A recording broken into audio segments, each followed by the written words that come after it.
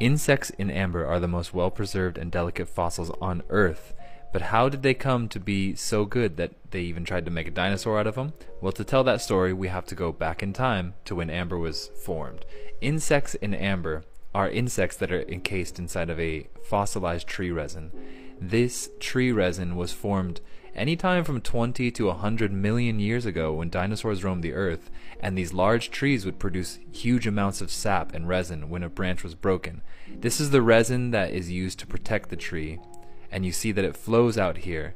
But then over time, massive forest fires would happen, and these burnt forests and all their trees secreted massive amounts of resins to protect their wounds. And these large secretions of resin, resin slowly became fossilized underground. They became buried underground, and there they sat for millions of years, maybe five, ten, up to a hundred million years ago. And these ancient landscapes that